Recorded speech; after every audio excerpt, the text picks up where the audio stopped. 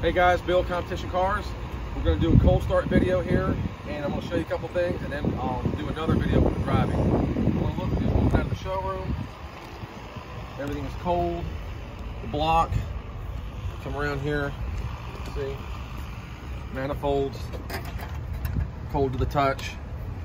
And uh, one thing I want to, to to bring up, I know there's been a lot of talk on the commentary about the radial tune suspension, how it's just like a catchphrase that Pontiac use on all their cars. And that very well may be, but this one does have the RTS handling package.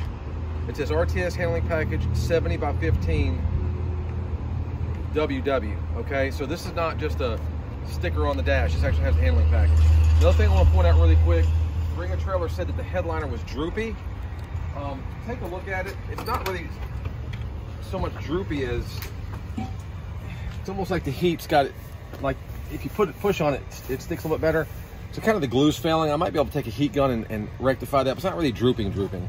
Other than that um i want to just kind of clarify that but we're going to do a, a, a driving video here in just a few seconds so thanks guys